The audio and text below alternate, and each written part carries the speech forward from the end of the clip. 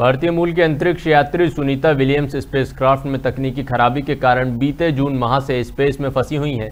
उनकी आठ दिन की यात्रा आठ महीने में बदल गई है। उम्मीद है कि वह फरवरी माह तक धरती पर वापस लौट आएँ।